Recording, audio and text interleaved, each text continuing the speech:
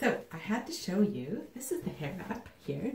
You'll notice at one end there's a button and a little tab at the other end. So I just had to show you how to put it up because it's part of my morning routine and the more I use it, the more I absolutely love it. Okay, so the part with the button is going to go at the back of the head. So I will show you.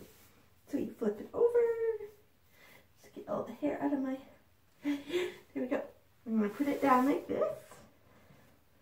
Oops. Get it past hairline. I'm going to pull it really long. And then because I like my ears out, I then go dig my ears out. Like this. There we go. Now, see how it's still pulled really long, hey? There's lots of room. So, twist it around. Grab the tag, the little loop, and just, you gotta get close. And just put it over the button and there we go.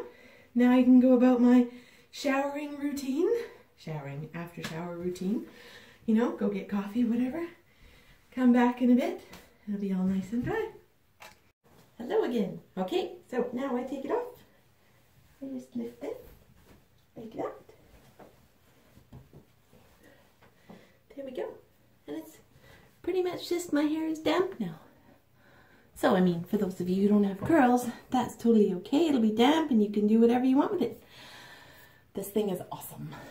I never thought I would ever, I don't need a hair wrap, right? Oh my goodness. It saves time and it saves a lot of like really wet hair because I don't dry my hair.